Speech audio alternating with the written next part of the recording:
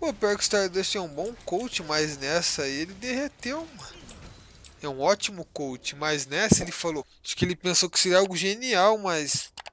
Uh -uh. Uh errou feio, errou rude, mano. Cara, e tem outra nisso que eu não falo, né? Não é o fato só dele pegar um dos melhores players do campeonato e botar sup.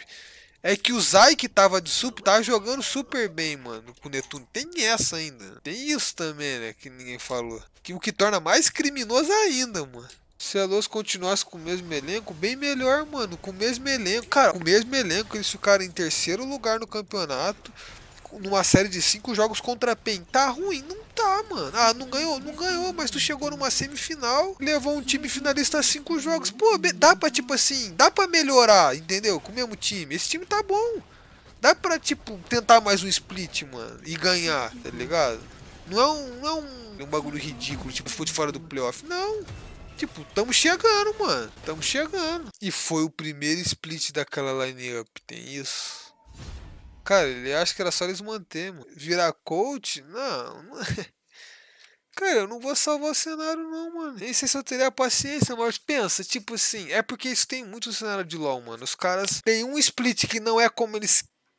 Todo mundo quer ganhar, entendeu? Só que é o cara que fica em terceiro ou em segundo quer mudar o time, só que às vezes não precisa, mano. Só se é algo bizarro, tá ligado? Porque, mano, se teu time já tá em terceiro e segundo, cara, com a mesma line-up na primeira vez da line-up, mano, pode ser que um ou outro ajuste já seja o suficiente para tu ganhar, mano. Aí quer, quer pegar um. Quer arrancar um, algo que tá funcionando, que era Netunos aí, funcionando muito. Botar outro. O, o, o Jungle Sup. Para, mano. Eu acho que eles poderiam fazer poucas mudanças, tipo, tirar o Hit e colocar o Boal.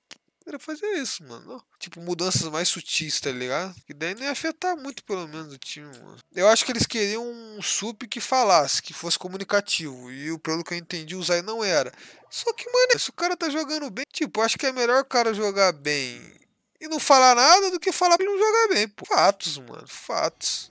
Não, ô VH, mas isso aí eu acho que é real, mano. Acho que os caras queriam um, um sup mais comunicativo. Só que, mano, Netuno Zay, eu acho que do primeiro split foi a melhor bot lane, mano. Sem arrasto. Foi a melhor bot lane, mano, da fase regular, mano.